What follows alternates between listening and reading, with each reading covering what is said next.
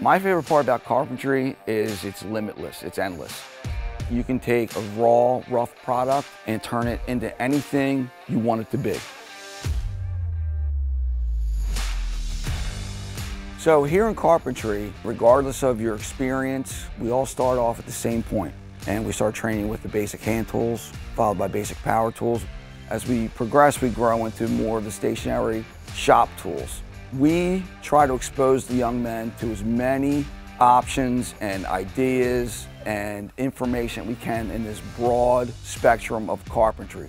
We have the guys that can do anything from rough framing to fine finish work to cabinet fabrication, installation, and anything and everything in between. We have a wide variety of paths for these young men to go down, and they're limited only to their imagination.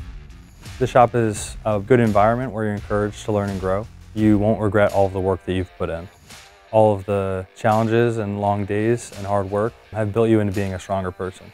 Employers see that and you're going to be successful when you leave. There's so many different career paths you can have.